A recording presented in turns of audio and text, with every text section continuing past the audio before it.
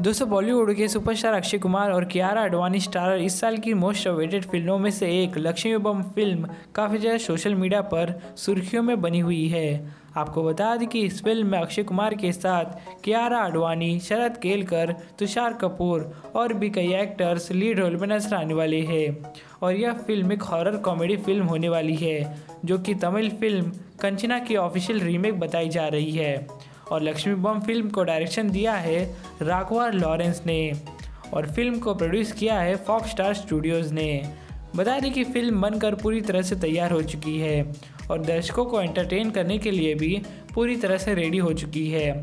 Film के makers ने हाल ही में यह ऐलान किया था कि फ़िल्म को ऑनलाइन डिज्नी प्लस हॉटस्टार पर रिलीज़ किया जाएगा।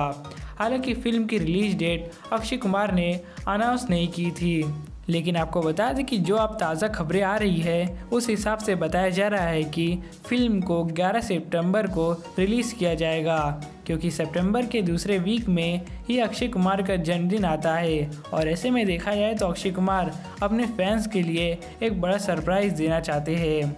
तो अब आ रही रिपोर्ट्स में मतलब बताया जा रहा है कि इस फ़िल्म को सितंबर के दूसरे वीक में ही रिलीज़ किया जाएगा। हालाँकि डिज्नी प्लस हॉटस्टार की तरफ़ से अभी ऑफिशियल कन्फर्मेशन करना बाकी है। बता दें कि इस फ़िल्म का प्रमोशन भी काफ़ी धमाकेदार तरीके से किया जाने वाला है, जो कि अभी तक किसी भी बॉलीवुड फ़िल्म का नहीं हुआ है, और यह सभी देखना काफ़ी ज़्यादा दिलचस्प भी रहने वाला है। तो दोस्तों, आप कितने एक्साइटेड है? अक्षय कुमार की much awaited film Laxmi Bomb के लिए हमें कमेंट करके ज़रूर बताएँ। साथ ही साथ इस वीडियो को लाइक ज़रूर करें और बॉलीवुड से लेटेस्ट खबरों के लिए हमारे चैनल को सब्सक्राइब भी कर ले।